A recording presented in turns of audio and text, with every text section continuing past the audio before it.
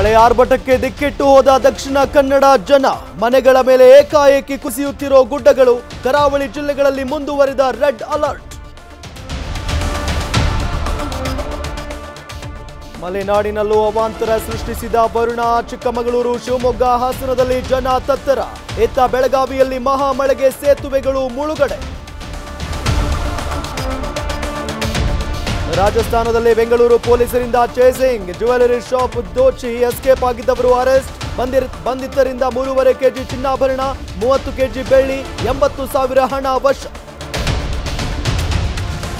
ಭಿನ್ನಮತಕ್ಕೆ ತೇಪೆ ಹಚ್ಚಲು ಮುಂದಾದ ಸಿದ್ದರಾಮಯ್ಯ ಡಿಕೆಶಿ ಹೈಕಮಾಂಡ್ ವಾರ್ನಿಂಗ್ ಬೆನ್ನಲ್ಲೇ ಇಬ್ಬರ ಮಾತುಕತೆ.